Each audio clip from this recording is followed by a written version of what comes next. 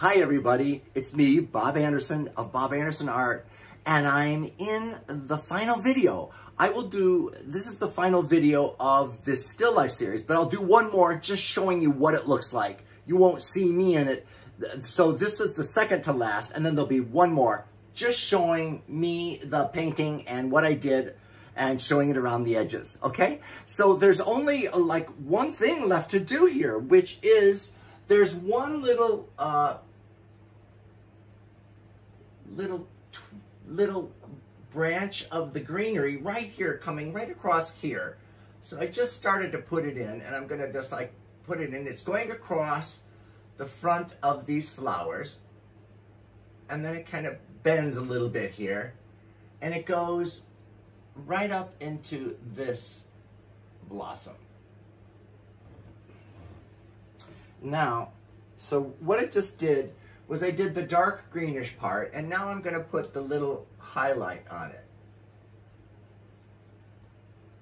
Like a lighter yellowy green where the, oh, oh, oh. well there you go. That happens. Okay, back.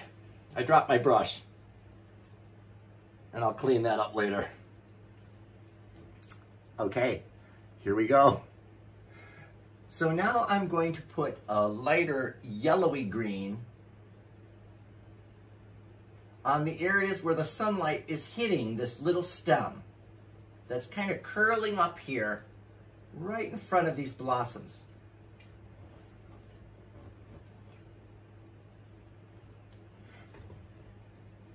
And you know, I can't tell what's happening in this painting. It kind of just goes in here, and then there's these like, these green, I don't know not what they are. I do not know what they are, but I'm going to paint them in as I see them.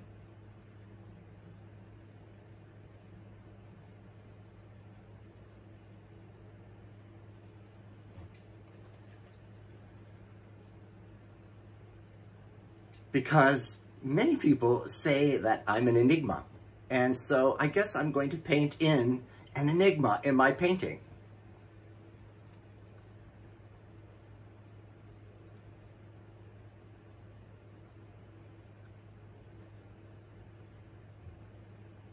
And it comes down, there's like two branches. I don't know if it's like a leaf that's reflecting oddly. But I'm going to put it in exactly as I see it. And I'll leave it up to you guys to try to figure out what it is.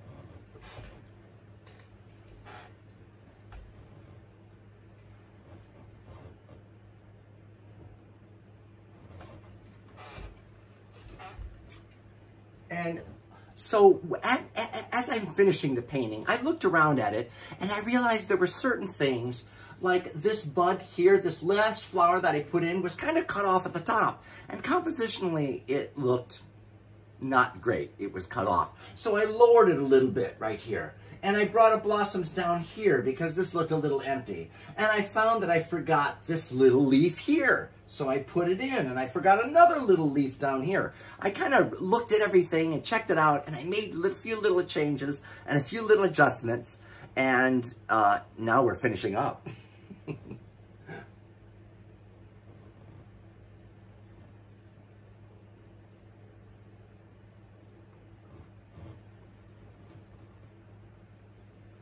And as I told you before, you know, since it's your painting, you can always do whatever you want.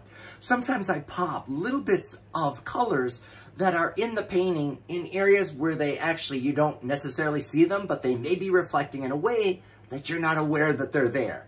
So I'll put little bits of reflections of other colors in on these blossoms in little subtle areas to give it like a punch and to give it a life a life of its own. I feel, and I may have said this before, but that I feel that, you know, when you put little bits of color all around something, it gives it, makes it alive. Because when you look at something, there are little bits of color all over the place that you may not be consciously seeing. But to see them makes it come alive, because that is life. color reflects off of everything. And so I'm just gonna add a couple little highlights on this leaf here and on this stem that comes up here. Roll a little bit on this stem here. And then, and a little bit up here on this latest, the latest stem that I added.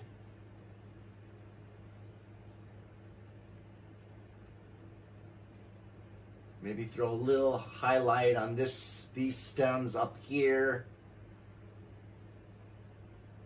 Ooh, okay. And that's pretty much it. So actually, I do believe, don't freak out, but I do believe that I finished this painting. So we are now complete with this, which originally started as my second series, but ended up being my third, my third series of painting instruction. And it is of this still life. Now I will shoot one more quick video just showing you what it looks like all on its own without me in it so you can get a better shot of it. And that will be the completion of my third series on how to paint. The first one being a landscape. The second one was the mural that I did for the, the child's nursery. And the third is the still life. And so anyway, I hope you like it. And um, thank you for watching. And I hope you learned something. But always remember, you are the master of your own artwork. You are the God of your own artwork. And don't let anybody put you down because what other people may say is ugly someday the world may herald it as one of the most beautiful things they've ever seen, or something that moves the world. Okay? So thank you very much, and I'll see you in the next series. But I will do one more video of just the artwork so you can see what it looks like. Okay? Goodbye.